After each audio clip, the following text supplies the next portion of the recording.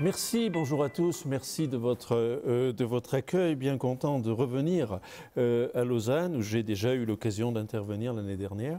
Quelques mots de présentation rapide pour euh, situer qui je suis, professeur de philosophie donc dans l'Académie de Clermont. j'ai commencé à m'intéresser aux questions de harcèlement. Je crois que c'est peut-être la dernière fois que j'emploie le mot harcèlement pour ce matin. Euh, à une époque où il est vrai, personne ne s'en souciait, en particulier en France, euh, en travaillant pour euh, l'équivalent d'ailleurs de ce qu'est la HEP ici, une, école de formation des enseignants en Auvergne. J'avais été invité à, expertiser un certain nombre de situations de violence en interrogeant les témoins. Je m'étais rendu compte en interrogeant de l'ordre de 100 ou 120 témoins euh, d'actes de violence, que derrière la violence qui fait du bruit, celle dont on parlait beaucoup, euh, il y en avait une autre. Il y en avait une autre à bas bruit, faite de petites choses, euh, répétées. J'ai découvert, c'était à la fin des années 80, 90, pardon, j'ai découvert qu'il existait toute une littérature anglo-saxonne, mais aussi scandinave, sur la question, que j'ai commencé à étudier. Et euh, j'ai rencontré Bertrand Gardette, avec qui je travaille maintenant depuis 15 ans, donc on est presque un, vieux couple. Euh, et euh, on a commencé à faire des séances de sensibilisation. Et immanquablement, à chaque fois qu'on parlait de ces questions-là, il y avait toujours un élève à la fin qui venait nous dire J'ai quelque chose à vous raconter. Et on a collecté toutes ces souffrances dans un, dans un film qu'on a appelé L'enfer au quotidien, qui était le premier documentaire français sur le sujet. Il a eu un succès euh, important euh, auprès de nos familles, surtout, hein, euh, puisqu'il n'a pas eu une diffusion exceptionnelle. Mais bon, aujourd'hui, on, le trouve sur, on trouve sur YouTube. et puis, on a, on a créé un site, et puis une association. l'association pour la prévention des phénomènes de harcèlement entre élèves. On a essayé de choisir le titre le plus long du monde. Euh, et puis, euh, à partir de, 2010-2011, en France, la situation change tout à coup. Euh, le ministère de, de l'Éducation nationale, tout à coup, reconnaît, découvre le phénomène. C'était un vendredi, sur le coup de 18 heures. Oh, c'est la nomination d'un conseiller euh, au cabinet du ministre de l'époque, euh, particulièrement sensibilisé à, ce, à, cette question et bien décidé à faire que la France rejoigne euh, les autres pays dans cette recherche sur ce qu'on appellera le mobbing ou le schoolbullying, comme on voudra. donc évidemment, à partir de là, notre action de sensibilisation, de prévention se modifiait, changeait. on s'est davantage tourné sur les méthodes de traitement, sur ce qui se passait à l'étranger. Euh, on a été voir euh, dans certains pays étrangers, en particulier en Finlande, euh, en décembre 2011. c'est là que j'ai vu. Alors j'avais découvert cette méthode bien avant, je crois l'avoir pour la première fois rencontrée dans un texte en 2002. cette méthode dite de la préoccupation partagée que l'on doit à Anatole Picasse et dont je vous parlerai plus précisément cet après-midi. mais je n'avais pas véritablement osé la mettre en place. Je pensais qu'il fallait sans doute avoir des, compétences plus euh, en matière euh, de psychologie. Euh, bref, je n'avais pas osé. Puis j'ai découvert en Finlande que cette méthode, elle était mise en œuvre par des professionnels, par des enseignants. Donc j'ai commencé à partir de, 2011-2012 à me, lancer dans des expériences de traiter des situations d'intimidation avec, cette, avec cette méthode et je me suis rendu compte que ça marchait, ça marchait extrêmement bien. Et puis, une rencontre avec un, euh, responsable de l'Académie de, euh, de, Versailles, c'est-à-dire en gros l'ouest de, euh, Paris, nous a amené à lancer un plan de, traitement des situations. Donc, on a mis en œuvre un plan de formation, donc 2014-2017, on, continue 2018, et on a formé autour de, on est actuellement à 500 professionnels formés à cette méthode. Et puis 2014-2015, j'ai commencé à intervenir en Suisse. Euh, et puis la rencontre avec, euh, euh, avec certains professionnels de Genève, avec Basile Perret, nous a permis de développer la méthode dans différents cantons, cantons suisses. 2017-2018, pour nous, deux étapes importantes. D'abord, c'est la création de ce site, donc depuis septembre, enfin, on l'a créé en juin, mais il est véritablement opérationnel depuis, euh, septembre. Euh, cette plateforme francophone qu'on a réalisée avec l'aide d'Action Innocence Genève, hein, Donc l'objectif étant de mettre en relation l'ensemble des personnels utilisant cette méthode de la, dite de la préoccupation partagée. Vous le trouvez donc à l'adresse qui est indiquée euh, ici. Et puis 2018, je pense, enfin oui, puisque 2017 maintenant s'achève, euh, un film euh, d'une quinzaine de minutes dans lequel on présente cette méthode. De quoi allons-nous parler ce matin? J'aimerais avec vous aborder cinq questions. Enfin, c'est ce que je voudrais, on verra ce qu'on peut faire. Euh, cinq questions. D'abord, définir, problématiser la notion. Euh, oui, le professeur de philosophie n'est jamais loin, hein, donc on va, on va problématiser, qu'est-ce que vous voulez que j'y fasse? Euh, En posant une question peut-être un peu provocatrice, faut-il continuer à parler de harcèlement? J'ai des doutes. Je vous expliquerai pourquoi. Deuxième point, mobbing, bullying, question de vocabulaire ou débat de fond. On essaiera de s'interroger sur les termes. En effet, selon les termes que l'on choisit, on verra que les modalités de traitement ne sont pas forcément les mêmes. Qui sont les cibles? Qui sont les intimidateurs? Qui sont les témoins? Y a-t-il d'ailleurs une véritable différence entre euh, les témoins et les intimidateurs? Je ne sais pas. Une autre question un peu plus euh, nouvelle, oui, euh, mais qui m'intéresse beaucoup maintenant et sur laquelle je travaille. Y a-t-il intimidation contre élèves? Ah oui, parce que c'était une question qu'on nous posait régulièrement. On nous disait, oui, mais attendez, vous parlez d'intimidation entre élèves, mais il y a des élèves qui persécutent leurs professeurs, ça s'appelle le chahut, et il y a des professeurs qui persécutent leurs élèves. Donc, euh, attendez. J'ai essayé de voir si entre ces trois phénomènes, intimidation, chahut, humiliation, il n'y avait pas quelques points de euh, comparaison, peut-être même des rapports, peut-être que l'un peut parfois créer, euh, créer l'autre. Et puis, dernier point, on reviendra, je reviendrai sur cette question du, euh, sur cette question du sextine qui, euh, euh, qui, qui me, me, questionne, qui vraiment m'interroge. Définir, problématiser la notion, je rappelle que problématiser, ça ne veut pas dire chercher des problèmes là où il n'y en a pas, ça veut dire questionner, ça veut dire interroger, et le terme de harcèlement ou d'intimidation n'est pas euh, euh, n'est pas quelque chose de tangible, de concret. De, non, c'est quelque chose qu'il faut interroger, qu'il faut, euh, qu'il faut questionner. Faut-il encore parler de harcèlement? Là où d'autres pays emploient des termes différents, bullying, mobbing, espagnols et canadiens disent intimidation. pourquoi avons-nous choisi, dans certains pays francophones, de nous diriger immédiatement vers euh, ce terme de harcèlement est-il véritablement bien adapté? Jamais un Anglais n'utiliserait harassment pour désigner ce qui se passe à l'école. Nous nous sommes immédiatement précipités vers un terme, un terme qui renvoie expressément à une violence entre adultes, dont l'actualité nous a montré très récemment ce qu'il pouvait être, hein, ce qu'est le harcèlement sexuel on sait aussi ce qu'est le harcèlement professionnel, le harcèlement familial. Parle-t-on exactement de la même chose?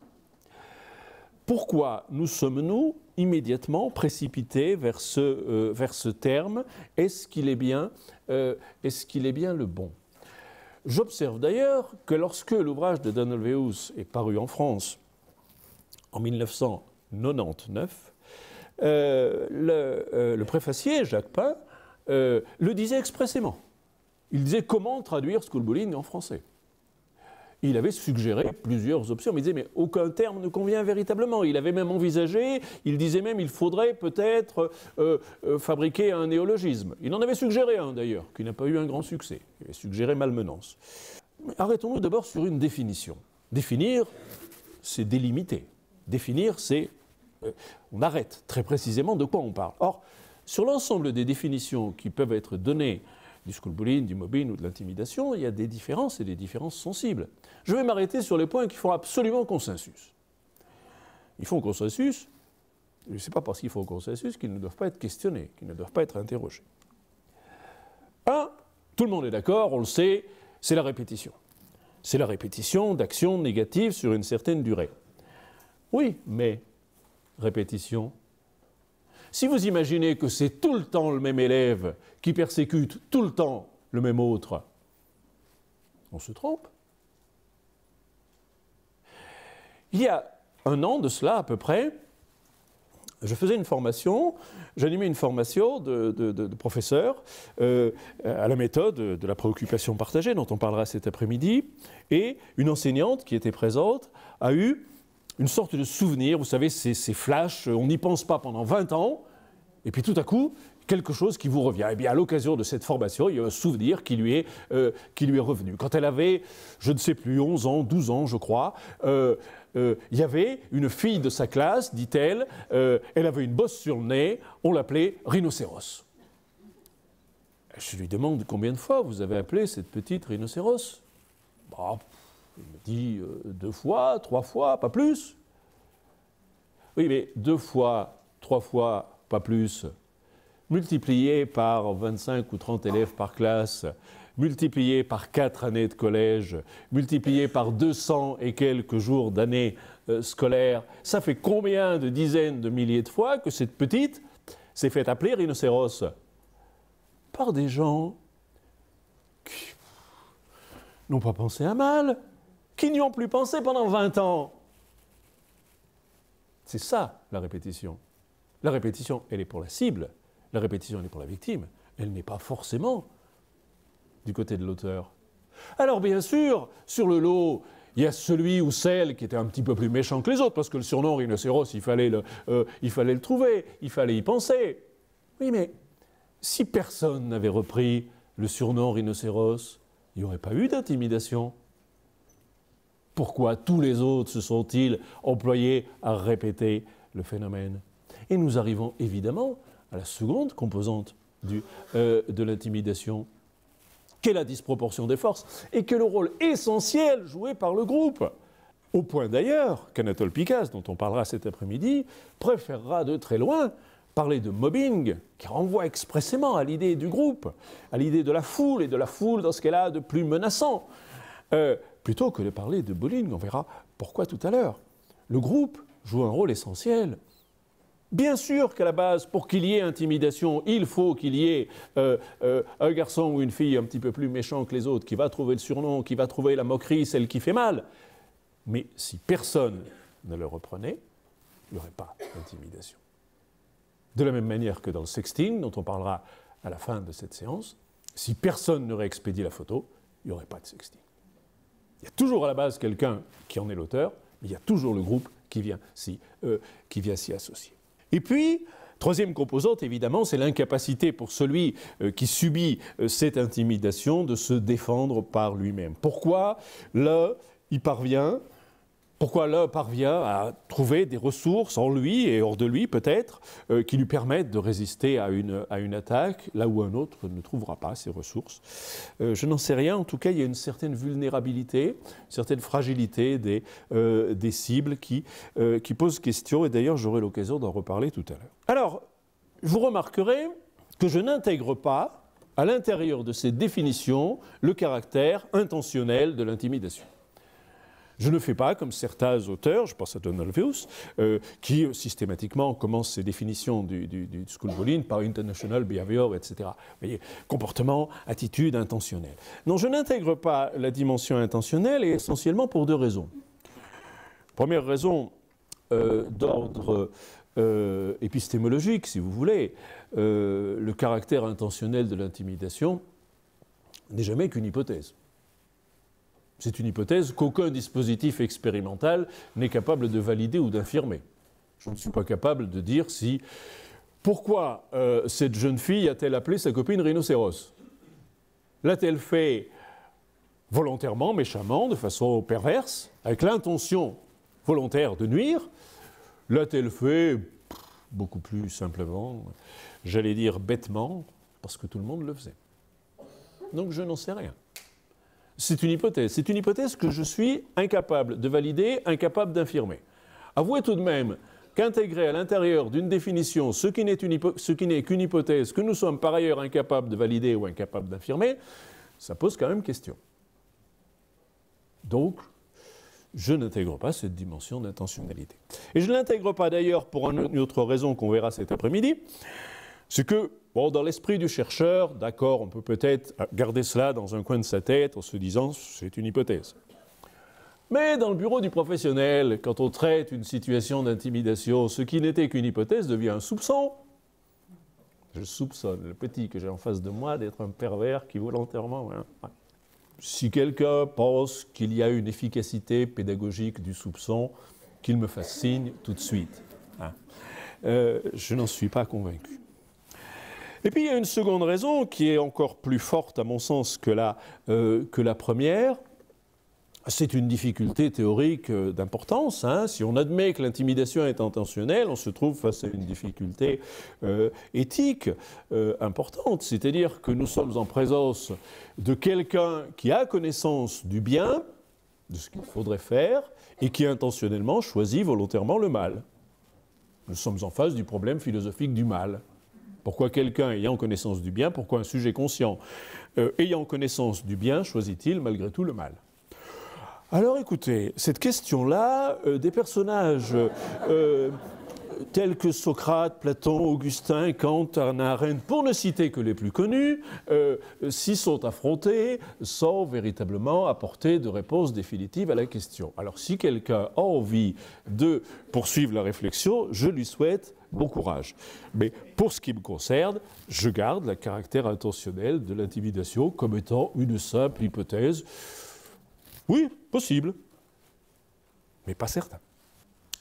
Alors, si l'on est parfois tenté de considérer l'intimidation comme intentionnelle, c'est peut-être euh, parce que l'on transpose euh, sur, ce que, sur le monde scolaire, euh, sur le monde des enfants et des adolescents, ce que l'on sait du harcèlement entre adultes. C'est-à-dire qu'on va plaquer mécaniquement ce que l'on sait du harcèlement entre élèves sur l'intimidation, sur l'intimidation scolaire. C'est pour ça que je pense qu'il est nécessaire de, euh, de, comparer, d'essayer de voir si nous sommes en face de deux processus qui sont semblables, et donc on peut utiliser, on peut continuer à utiliser le même terme, ou alors si nous sommes en face de, euh, processus radicalement, euh, radicalement différents. Je me suis amusé à faire un petit tableau comparatif entre d'un côté ce que l'on sait de l'intimidation scolaire et ce que l'on sait du harcèlement entre adultes. Du côté du harcèlement entre adultes, il s'agit de la répétition des mêmes faits par le même individu. Du côté de l'intimidation, c'est la répétition des mêmes faits, mais par des individus différents, comme dans le cas de, euh, de rhinocéros dont on parlait tout à l'heure. Dans le cas du harcèlement entre adultes, le groupe ne joue aucun rôle, ou pas souvent, ou rarement. Euh, les faits sont en général dissimulés au groupe. Et ils le sont d'autant plus que le harcèlement euh, étant aujourd'hui inscrit dans la loi, euh, le harceleur, celui d'ailleurs dont on a donné, euh, celui dont les psychiatres ont identifié le portrait, ont brossé le portrait, le pervers narcissique, a toujours double visage. Hein. C'est-à-dire, aux yeux de. Il apparaît souvent comme euh, euh, professionnel tout à fait euh, charismatique, bon père de famille et tout et tout. Et puis, il a l'autre visage. Enfin, tous les faits de harcèlement sexuel qui aujourd'hui sont portés à la connaissance et sont développés par les médias nous montrent très bien cette espèce de, cette espèce de dualité. Dans le cas de, de l'intimidation, le groupe jouant un rôle essentiel, il est très important que les faits soient montrés au groupe. Autre différence. Dans le harcèlement entre adultes, il me semble que l'intention de nuire est avérée. Enfin là, j'ai moins de doutes. Dans le cas de l'intimidation entre élèves, l'intention de nuire n'est pas toujours avérée. Je ne vois qu'un point commun, finalement, ça reste cette incapacité pour la cible de se défendre par, euh, se défendre par elle-même. Donc nous avons trois différences et un point commun. Arrêtons donc de parler de harcèlement. Mais on ne peut rien faire contre le vocabulaire. Et justement, du vocabulaire, parlons-en. Il y a euh, dans, la, euh, dans, la, recherche euh, des divergences, des différences, qui n'ont pas d'ailleurs été complètement étudiées dans, la recherche francophone.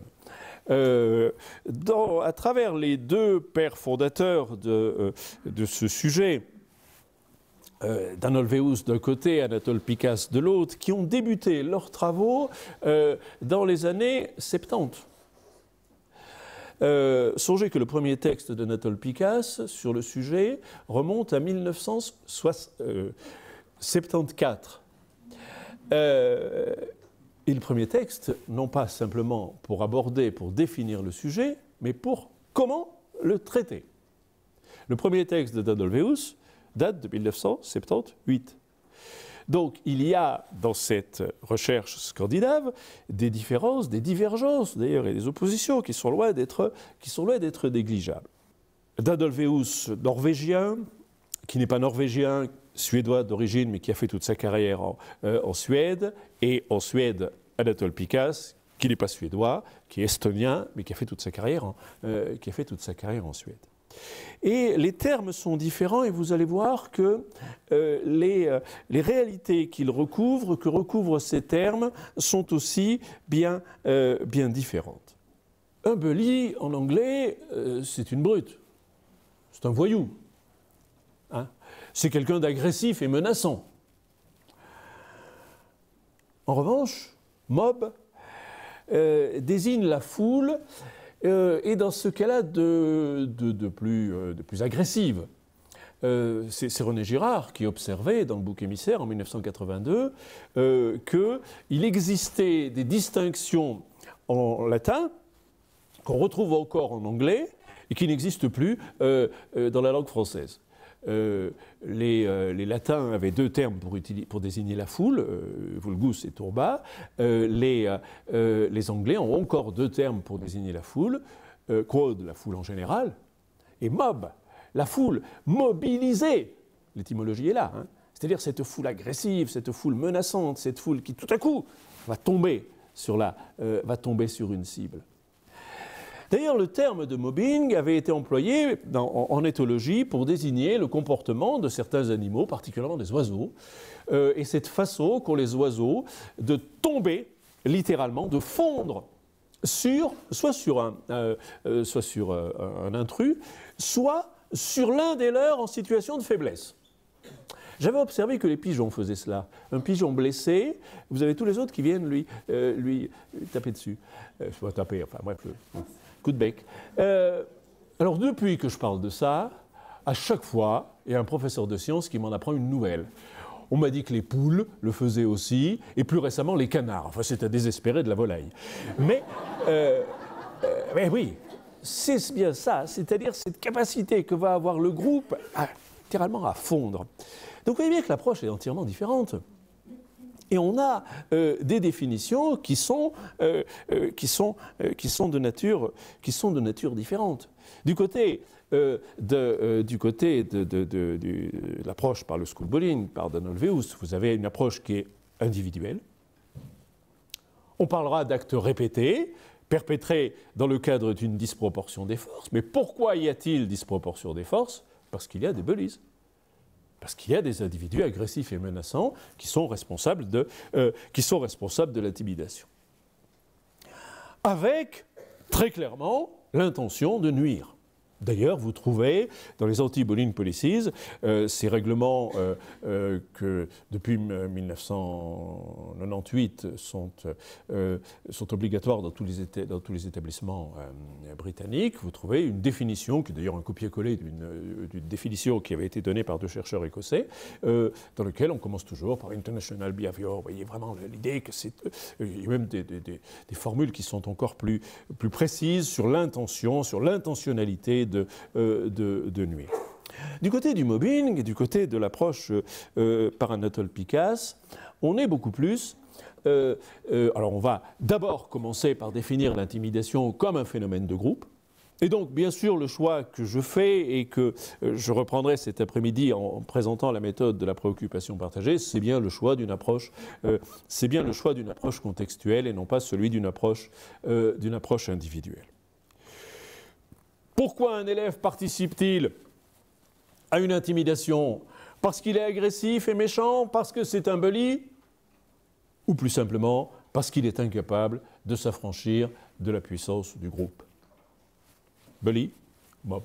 En novembre dernier, euh, il y a maintenant une journée euh, anti-harcèlement euh, en France, et à l'occasion de cette journée anti-harcèlement, le ministère de l'Éducation nationale en France a sorti ce chiffre que l'intimidation, le harcèlement, puisque c'est le terme qui est employé, ferait 700 000 victimes, 700 000 victimes en France.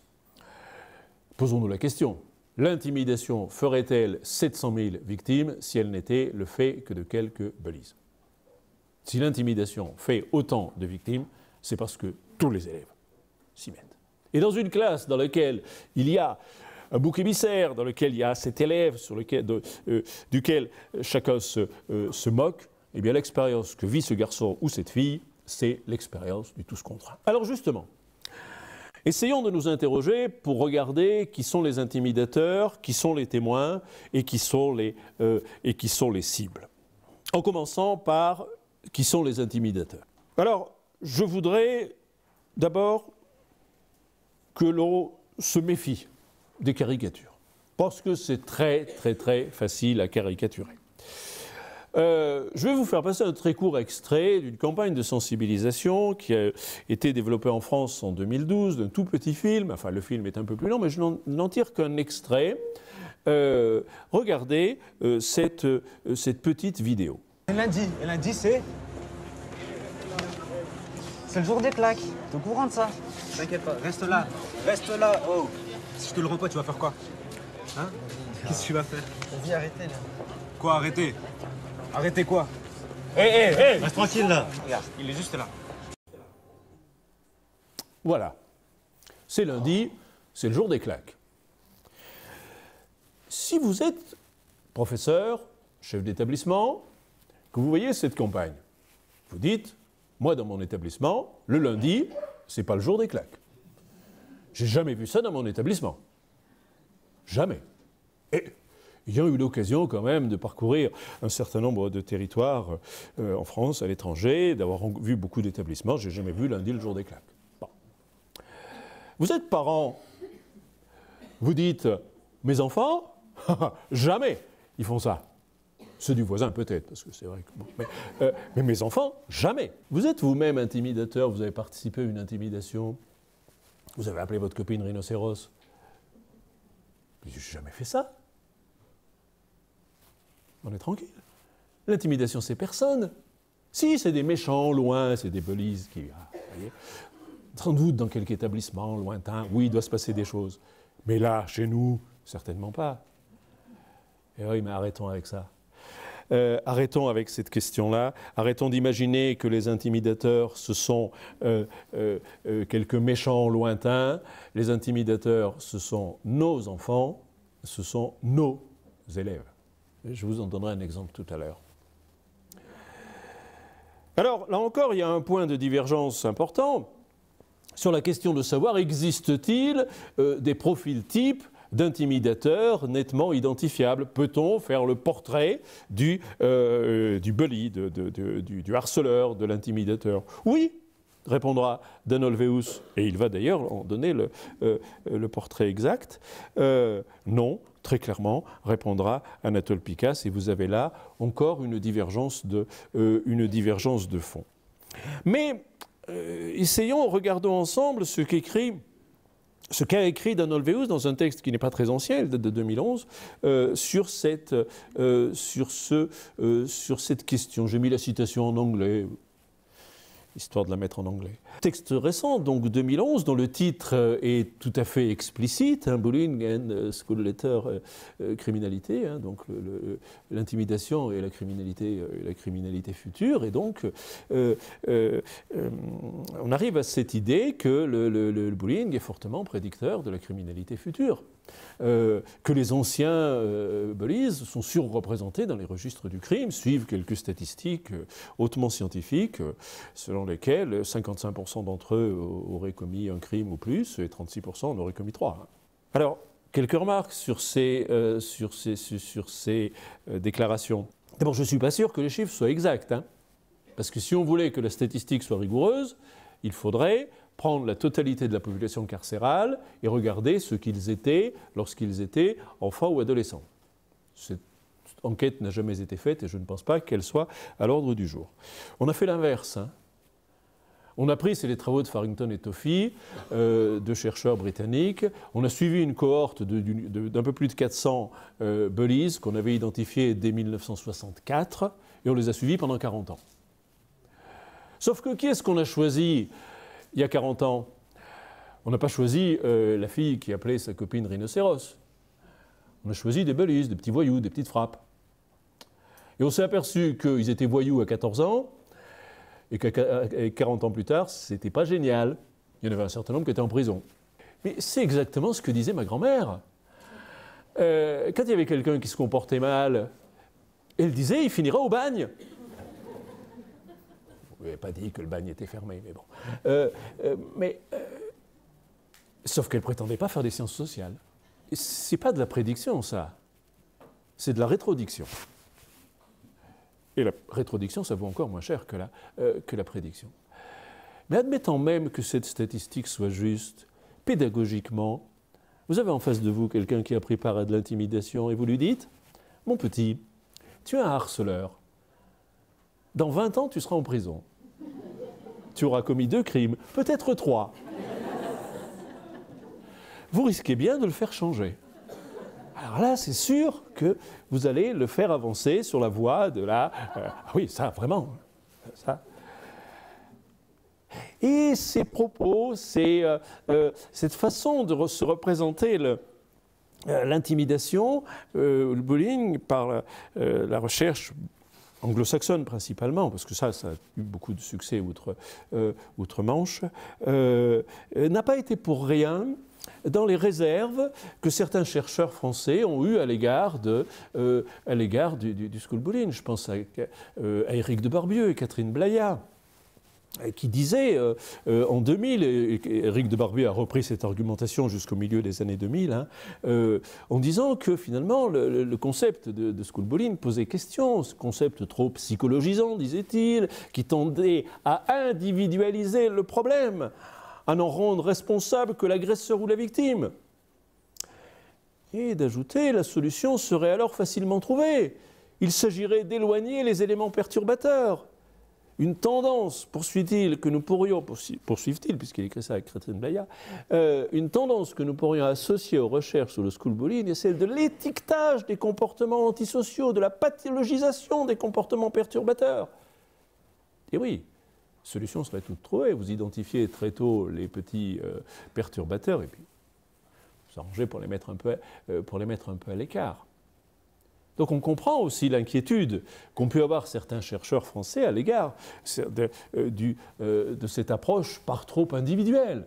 Ils auraient pu aller voir du côté d'Anatole Picasse. Il y avait une approche beaucoup moins individuelle, beaucoup plus, beaucoup plus contextuelle, mais pour des raisons sur lesquelles je continue à m'interroger, la recherche française a systématiquement euh, ignoré les travaux d'Anatole Picasse, et je continue à m'étonner que ce soit un obscur professeur de philosophie auvergnat qui ait été déniché les textes de cet auteur dont aucun n'est traduit en français, et l'ouvrage que j'ai signé avec Bertrand Gardet sur sa méthode est le seul disponible dans notre, euh, euh, dans notre langue.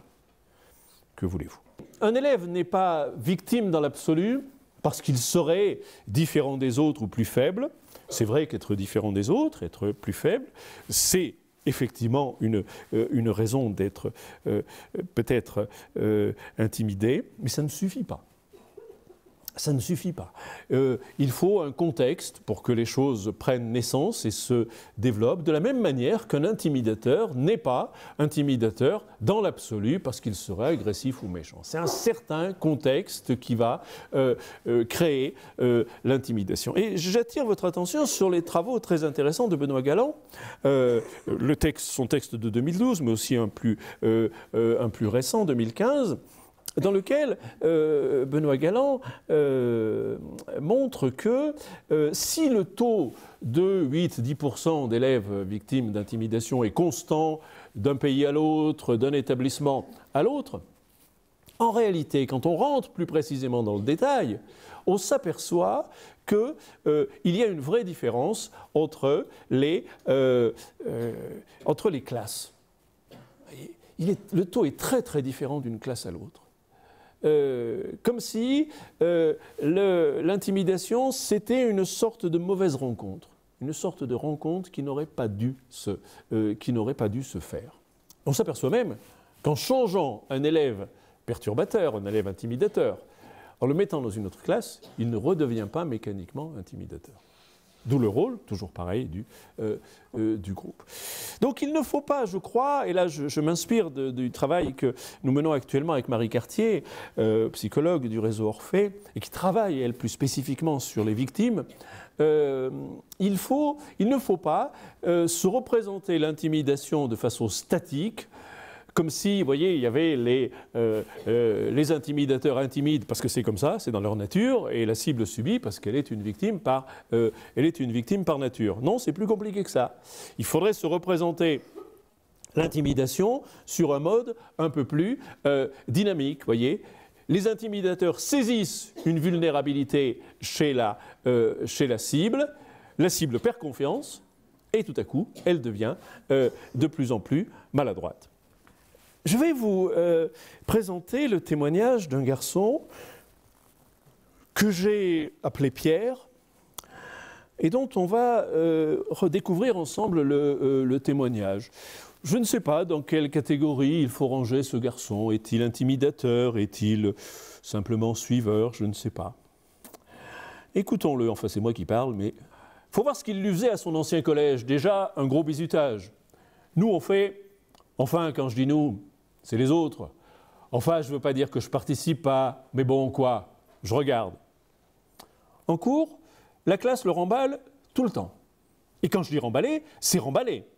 Il donne une réponse au professeur et tout le monde derrière va se moquer. Un soir, à l'étude, le surveillant avait dit qu'on pouvait raconter des blagues comme ça pour rigoler. Il en sort une avec une blonde. Il y a eu un brouhaha contre lui, c'était incroyable. Toute la paire m'a dit arrête tes bêtises. Et je dis ça poliment. La blague n'avait aucun sens. Lui, il trouvait ça marrant, il riait tout seul. Et nous, on rigolait pour se foutre de lui, parce que la blague ne valait rien du tout. On est une dizaine à se rassembler, toujours dans le même groupe, ensemble. On parle, tranquille. Et lui, il fait le tour du rond. Il peut faire le tour du rond un moment, en plus. Au bout d'un moment, il trouve une place. Alors il se cale dans la place et il commence à suivre les conversations sans rien dire. Et après, il nous suit partout, partout, partout. On va en direction du self. On peut se rallonger carrément. Il nous suivra par le même chemin, en nous suivant, comme un chien. Alors je lui demande, peut-être est-ce qu'il veut s'intégrer? Ouais, il veut s'intégrer. Mais nous, à la limite, on ne veut pas qu'il s'intègre, parce qu'on le connaît, l'animal. Non, je veux dire l'animal, je dis ça comme ça. Mais on n'a plus envie. Au début de l'année, ça aurait peut-être pu se faire. Mais on n'a plus envie. Sortir ses blagues à deux balles et tout. Ce témoignage pose plein de questions. Oh, il pose question d'ailleurs sur les conditions dans lesquelles on le recueille. Moi, je ne pourrais plus faire ça aujourd'hui. hein. Parce que moi qui suis en train de l'écouter comme ça, euh, je l'aurais, je vous en parlerai cet après-midi, on essaiera de voir cet après-midi ce qu'on aurait pu faire avec ce garçon si on l'avait traité avec la méthode de la préoccupation partagée. Si d'entrée on avait commencé par être inquiet pour la situation de ce garçon, aurait-il réagi de cette même façon? D'ailleurs, à chaque fois que je lève les yeux, il réagit tout de suite. hein. Dès qu'il dit l'animal, il a vu dans mon regard que... hein. Ça pose question parce que ça dément toutes les hypothèses rassurantes qu'on peut se faire à propos des intimidateurs. Première hypothèse, les intimidateurs ne constitueraient qu'une minorité d'élèves. Ben non, ici c'est très clair, c'est toute la classe qui se moque d'un élève. C'est l'expérience du tous contre un. Cette hypothèse selon laquelle les, intimidateurs ne seraient qu'une minorité, elle ne tient pas un seul instant la route. hein. Imaginez qu'un garçon ou une fille victime d'intimidation euh, vous dise euh, euh, il y a des élèves qui se moquent de moi dans la classe. Combien ils sont? Ils sont trois. Et les autres? Ah non, je m'entends super bien avec eux. C'est de l'intimidation, ça?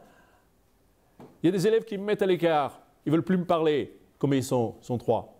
Et les autres? Ah non, je suis très copain avec eux. C'est pas de l'intimidation, ça. C'est bien l'expérience du tous contre. Deuxième hypothèse, les individus, les, euh, les intimidateurs sont des individus agressifs et méchants. Et bien là, non seulement Pierre euh, est un garçon extrêmement sympathique, c'est un garçon qui est très engagé dans son établissement, et figurez-vous qu'il faisait même partie d'un groupe de prévention du harcèlement. Eh ouais.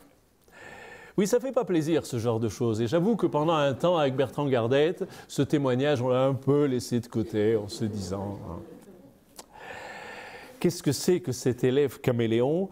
Euh, Qu'est-ce que c'est que ce garçon qui se mue en l'espace de quelques semaines euh, de militant de la cause anti-harcèlement? Il venait avec euh, des professionnels, il allait dans un établissement sensibiliser les plus jeunes à la question du harcèlement. Joue-t-il euh, joue-t-il double jeu? Faut-il mettre en cause son, euh, mettre en cause son engagement? Comment expliquer cette si soudaine suspension de l'éthique? Et oui, j'insiste sur cet aspect suspension de l'éthique, c'est quelque chose que j'observe euh, à chaque fois que je rencontre un élève ayant pris part à des faits d'intimidation. C'est ce contraste saisissant existant entre la personnalité de ces jeunes gens, ils sont très sympathiques souvent, garçons tout à fait ordinaires, garçons et filles tout à fait ordinaires, et puis la méchanceté, la cruauté des actes qui ont été, euh, perpétrés. Comment expliquer euh, cette suspension de l'éthique? Et j'avoue que euh, j'ai peut-être trouvé la clé chez René Girard, euh, auteur que l'on n'a probablement pas suffisamment lu quand on a travaillé sur les questions euh, d'intimidation, et c'est le reproche, je me le fais aussi à moi-même. Euh, il y a dans l'ouvrage de, Girard de 1982, le bouc émissaire, un chapitre qui est tout entier consacré au reniement de Saint-Pierre.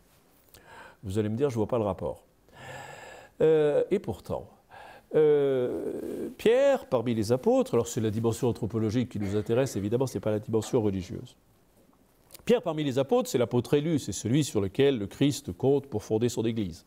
Et on imagine à quel point cet apôtre élu devait être fier d'être aux côtés du Christ lorsque celui-ci était salué, acclamé par la foule comme un thaumaturge. Sauf que quelques semaines plus tard, lorsque le groupe des apôtres est dispersé, que le Christ est arrêté, que fait Pierre? Girard insiste sur le fait que tous les évangélistes, les quatre évangélistes, insistent sur le fait qu'il y a une espèce de besoin impérieux qu'a Pierre de rejoindre la foule. Les détails du feu est indiqué dans les quatre évangiles. Besoin de se rapprocher du feu, de communier au même feu qu'eux. Et lorsque on va dire à Pierre, mais toi tu étais avec le Nazaréen, par trois fois, Pierre dira non. Et Girard dit, on interprète le reniement de Saint-Pierre comme une marque de lâcheté, c'est plutôt une marque de la condition humaine. Quelle force faudrait-il pour résister à une foule? Vous comprendrez que je n'ai pas appelé mon élève Pierre pour rien. Comment pourrait-on demander à un adolescent de 15 ans de faire ce que le meilleur des apôtres n'a pas su faire? Comment pourrait-on demander à un adolescent de s'ériger seul comme ça contre la foule et de dire non, non, non, non, je vais le défendre lui?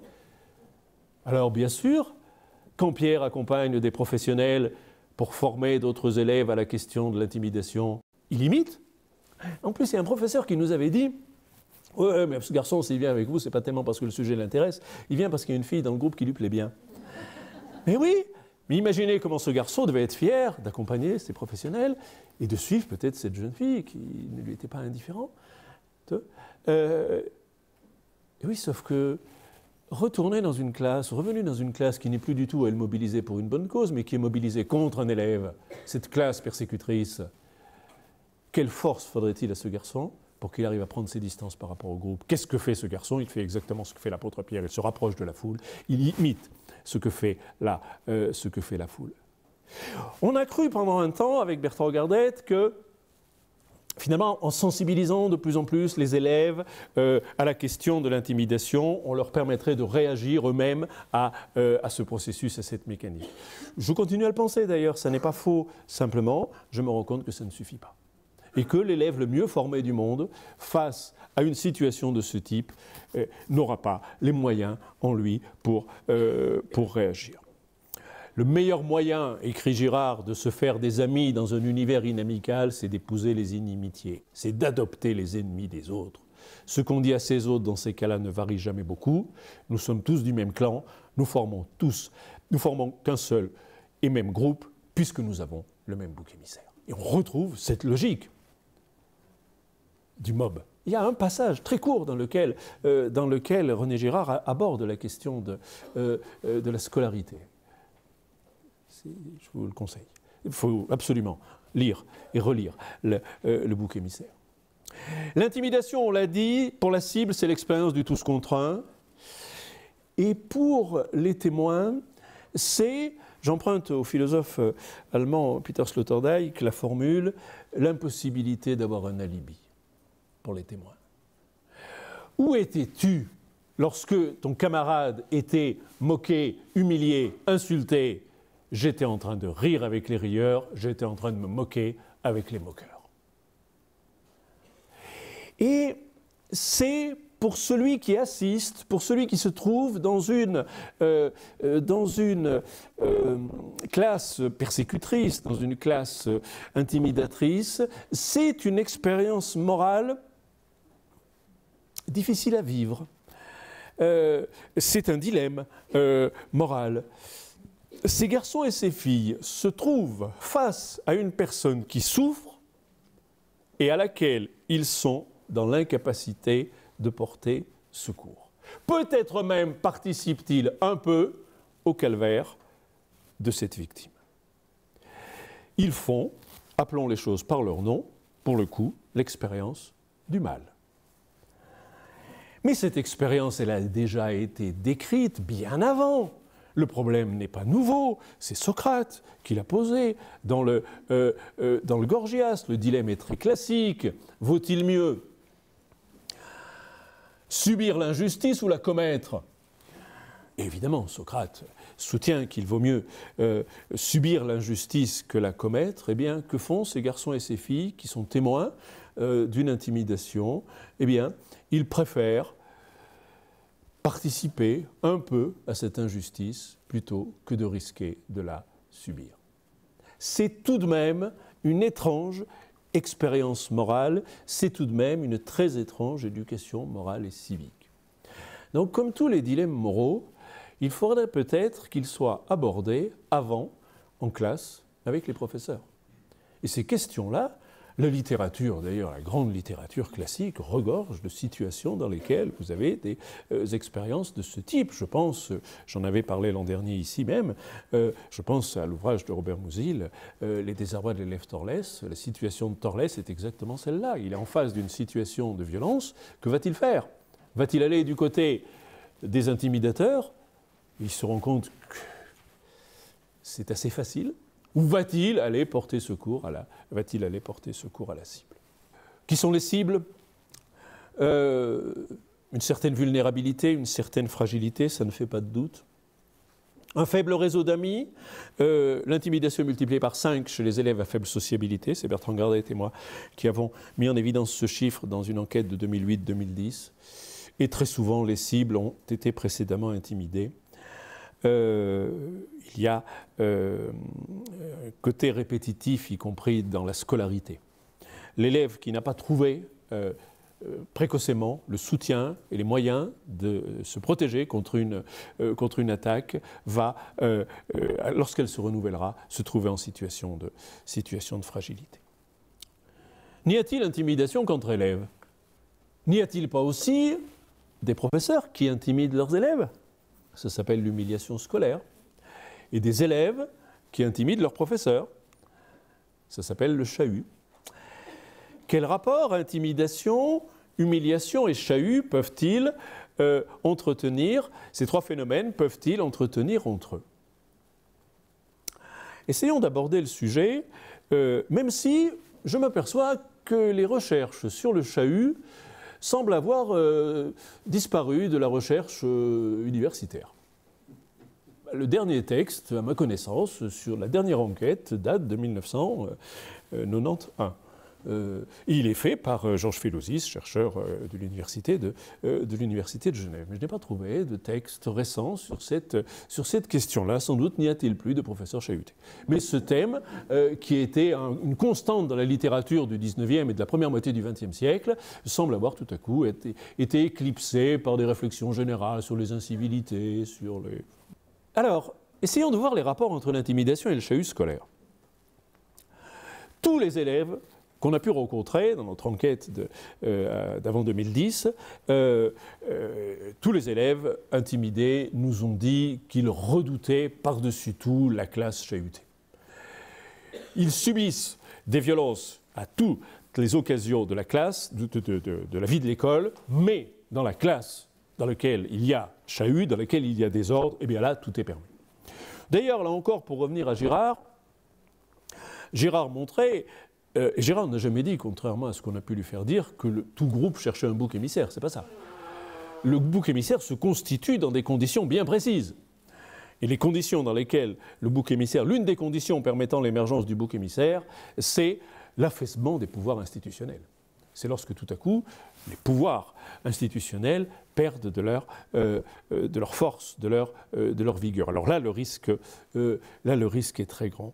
Et il faudrait tout le talent d'un grand romancier pour décrire la proximité de ces deux souffrances, dans la même classe, dans le même espace, la souffrance du professeur chahuté et la souffrance du de, l'élève euh, intimidé. Ces deux souffrances sont très proches l'une de l'autre, elles se ressemblent, nous allons voir que tous les points euh, de convergence existent, euh, et ils ne peuvent pas venir en aide l'un à l'autre. Et quand je dis il faudrait tout le talent d'un grand romancier, euh, je vous conseille euh, très vivement ce texte, hélas, euh, inachevé, du jeune Sartre, qui se trouve dans ses écrits de jeunesse. Sartre a écrit cela à l'âge de 17 ans. Euh, texte étonnant, Jésus la chouette, professeur de, euh, professeur de province. Le garçon qu'il décrit s'appelle Paul et il lui ressemble. Et les préfaciers euh, disent que cette expérience est probablement autobiographique. et ce, ce, garçon se trouve... il est malmené par ses camarades. Euh, en raison de son origine parisienne, tout ça, ça se passe à La Rochelle. Euh, il est malmené euh, par ses camarades et finalement, pour ne plus subir les brimades de ses camarades, il va persécuter le professeur. Professeur d'ailleurs qui le loge chez lui. Et vous avez là ce, portrait absolument extraordinaire. Hélas, pourquoi Sartre n'a-t-il pas euh, développé, approfondi ce texte? On aurait là une. Même en l'état, ce texte est absolument euh, euh, exceptionnel. Et encore une fois, la littérature nous en apprend plus des fois sur les phénomènes que, que des études plus complexes. Les phénomènes sont très proches. Voyez, tous les points convergent c'est la répétition et la longue durée, c'est la disproportion des forces, c'est le rôle essentiel du groupe, c'est l'incapacité pour la cible de se défendre par elle-même, c'est l'expérience du tout, tous contre un, c'est l'isolement des cibles, c'est le manque de solidarité des collègues, c'est l'inefficacité des sanctions et les conséquences probablement analogues, stress, troubles anxio-dépressifs, risque suicidaire je suis en train de développer euh, un protocole, ça fait trop prétentieux, un dispositif de traitement des situations de, euh, de chahut euh, très largement inspiré des méthodes qui ont fait leur preuve dans la lutte contre l'intimidation. Je vous en parlerai cet après-midi. J'arrête de vous faire la bande-annonce de cet après-midi. Alors, il y a un texte absolument essentiel sur la question, on le doit au chercheur français Pierre Merle, qui a brossé, qui a donné un état des lieux, et l'état des lieux établi par Pierre Merle euh, laisse penser qu'il s'agit d'un phénomène scolaire massif. Il a interrogé euh, des étudiants, comme ici l'équivalent d'une HEP, euh, en leur distribuant des questionnaires et en leur demandant de raconter une situation, la consigne était on ne peut plus générale, raconter une situation dans laquelle vous avez l'impression que vos droits n'ont pas été respectés. Et il a recueilli 500 témoignages d'une population qui n'était pas la population scolaire la plus euh, défavorisée, ce sont de futurs enseignants, pas forcément les plus malmenés de l'école. Euh, il a recueilli le témoignage de 500 étudiants. Sa conclusion est qu'il s'agit d'un phénomène scolaire massif, et il identifie trois moments de la vie de la classe dans lesquels euh, que les élèves redoutent particulièrement. Ces trois moments, ce sont les passages au tableau que Pierre Merle associe à des passages à tabac, pour certains, les remises de copies, dans lequel le professeur rend les copies, soit en les classant euh, euh, par ordre, euh, soit en faisant des remarques, soit en annonçant très clairement. Certains ont même fait des bêtisiers, des, choses qu'ils lisaient, dans leur, qu'ils lisaient dans leur copie. Un étudiant, dans les questionnaires que Pierre Mel a recueillis, un étudiant dit avec beaucoup de bon sens, les notes, ça devrait être comme les problèmes décidément. Comme les problèmes de santé, ça devrait être confidentiel. Enfin, des révélations sur la vie privée, qui sont faites en cours.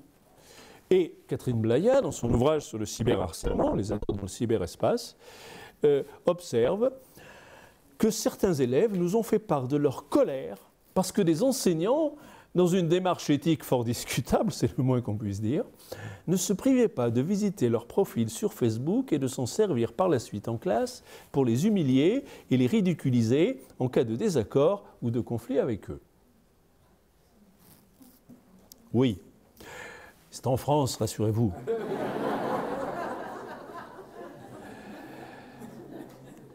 Alors, L'intimidation et l'humiliation pourraient apparaître comme deux phénomènes opposés. On pourrait me dire, mais pourquoi comparez-vous des choses qui n'ont rien à voir? En effet, on pourrait penser que l'intimidation, c'est l'action d'un groupe contre un individu isolé. Tandis que l'humiliation, c'est l'action d'un individu contre un, contre un groupe. Oui, mais la ressemblance n'est qu'apparente, car qui sont les cibles de l'humiliation? Un professeur va-t-il s'en prendre à l'élève le plus charismatique, à celui qui a du répondant, à celui qui sera capable de lui répondre? Certainement pas. Et là encore, l'enquête de Pierre Merle est très claire. Les cibles de l'intimidation sont toujours choisies parmi les plus faibles, les plus fragiles, les plus vulnérables. Les plus faibles au plan scolaire, évidemment, puisqu'il s'agit de leur faire honte de leurs résultats les plus faibles au plan psychologique, j'allais dire les plus timides, peut-être aussi les plus faibles socialement. L'enseignant humiliant va-t-il s'en prendre à celui dont il pense que les parents viendront? Mais dans ce cas-là, les cibles de l'intimidation et celles de l'humiliation sont exactement les mêmes. Mais alors, qu'advient-il Qu'arrive-t-il à un élève après une humiliation? Si ça tombait, si l'humiliation tombait sur un, élève euh, ayant un fort réseau d'amis, ce réseau d'amis, sans doute, viendrait lui porter secours. Mais quand ça tombe sur le plus faible, le plus isolé, le plus vulnérable, que se passe-t-il ensuite? On le livre en pâture au, euh, euh, au groupe. Et on voit bien dans ce cas-là que l'humiliation engendre l'intimidation. Ridiculisé par l'enseignant, l'élève humilié sera ensuite livré en pâture à ses camarades pour subir leur raillerie. L'enseignant humiliant devient en quelque sorte le chef de meute. Celui qui désigne la proie, celui qui plante les premières banderilles et qui l'abandonne après aux morsures de la, euh, de la meute. Donc il y a un rapport direct. De la même manière que l'intimidation, le chahut peut créer l'intimidation, l'humiliation crée euh, l'humiliation, euh, crée l'intimidation. Il y a donc une espèce de corrélation. Euh, tout, cela se, tout cela se tient. le chahut engendre l'intimidation, l'humiliation engendre l'intimidation. Alors il faut renverser, à mon sens, totalement la logique. Il faut opposer dans nos établissements à une logique de l'indifférence une logique du soin, une logique de l'attention portée à autrui, une logique de la préoccupation portée à l'autre. Il faut développer au sein de nos établissements euh, un soin en direction des victimes d'intimidation. Il faut développer au sein de nos établissements un soin en direction des professeurs, professeurs chahutés. Et il faut prendre soin aussi des élèves humiliés. J'essaierai de voir cet après-midi comment les méthodes de traitement inspirées euh, des travaux d'Anatole Picasse peuvent aussi être utilisées dans ces trois types de blessures de l'école. Et il y a une case vide, évidemment, parce qu'il y a une quatrième blessure de, euh, euh, de l'école, qui est évidemment celle du sexting, Et je pense qu'il faut, et on va conclure par là, pour laisser la place à des questions, comment prendre soin des victimes de, euh, des victimes de sexting. Et je suis euh, euh, très heureux qu'il y ait un certain nombre de travaux qui se développent en, en, Suisse, en France. Le sujet reste en très grande partie méconnu, tabou. donc là, il y a un vrai, il y a un vrai problème. Alors, j'aborderai la question du sexting, de la manière suivante. En tant que blessure, blessure de l'école.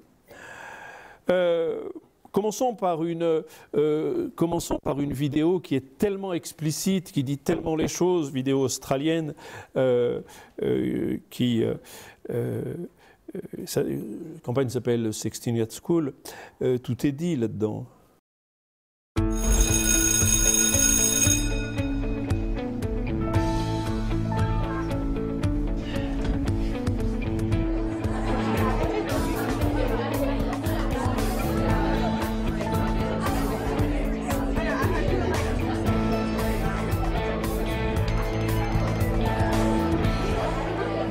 Megan.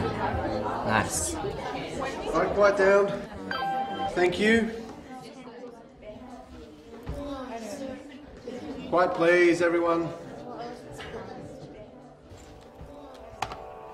Shane Andrews, Yes. Emily Abbott, Here. Graham Cowell, Yes. Jessica Collins, Here. Kate Copper, Present. Charles Douglas, Yep.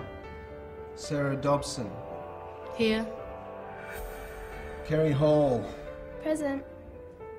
Brent Holbrook, Yep. Claire Henderson, Yep. Regan Simpson, Yes. Megan Edgerton. Megan? Megan. Megan Edgerton. Megan.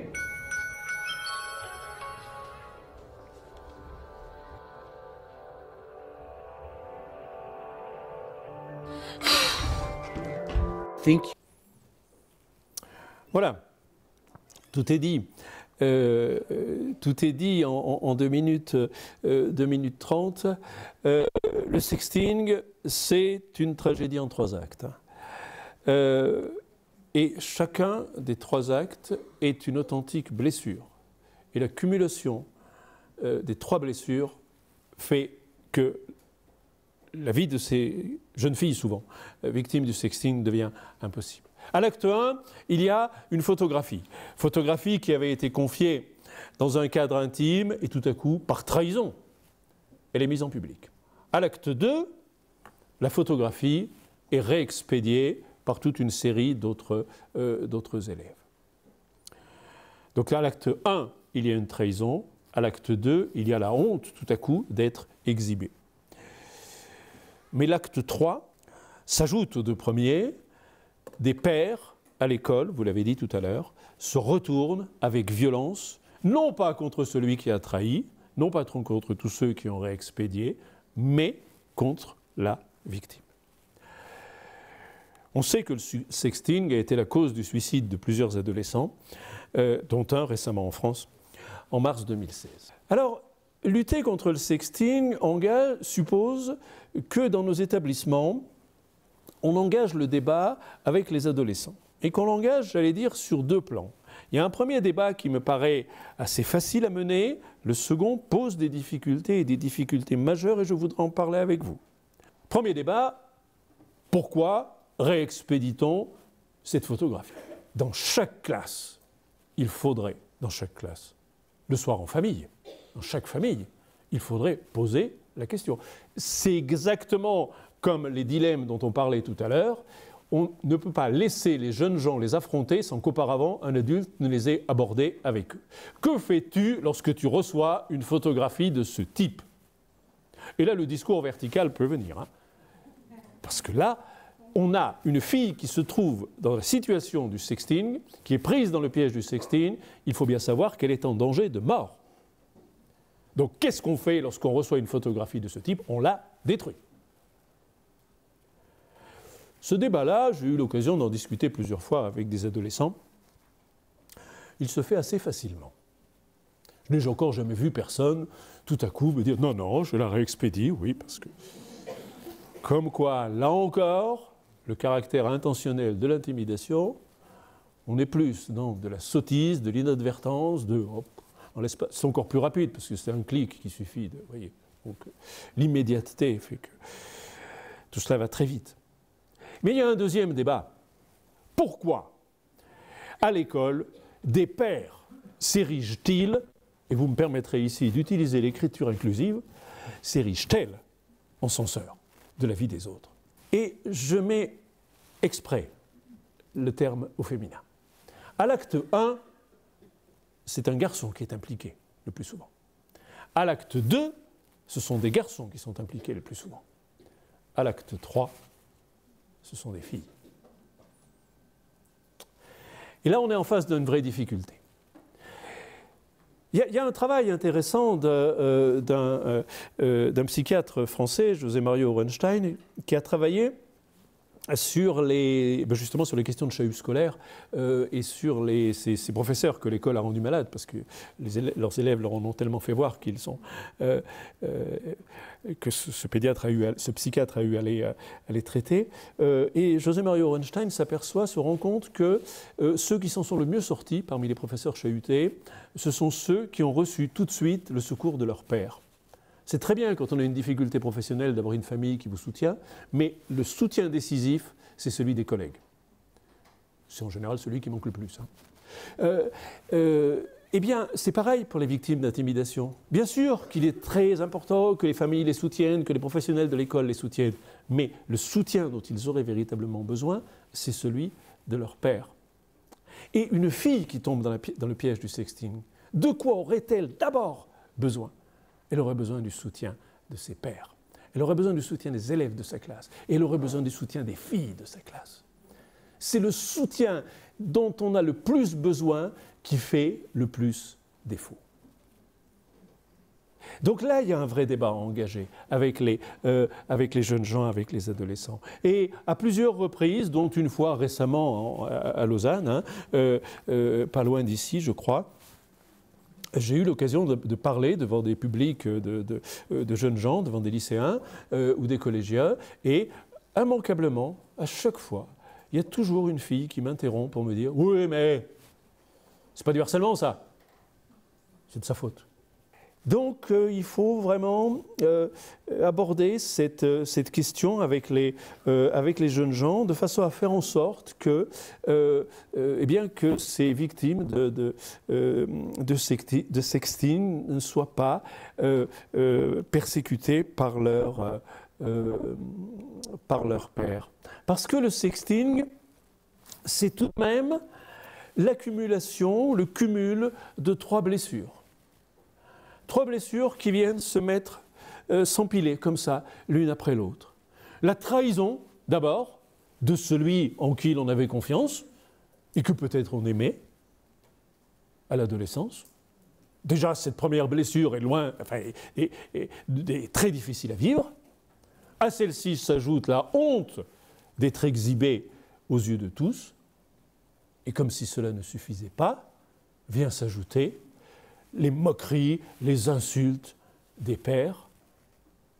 Et puis avec évidemment la dimension euh, euh, euh, réseaux sociaux qui vont amplifier, le, phénomène. Chacune de ces blessures est suffisamment douloureuse, mais imaginez ce que fait le cumul des trois.